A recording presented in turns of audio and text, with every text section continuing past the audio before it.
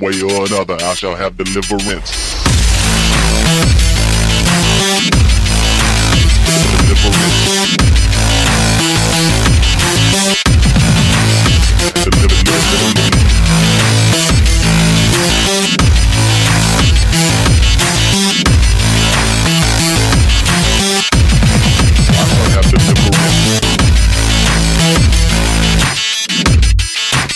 deliverance.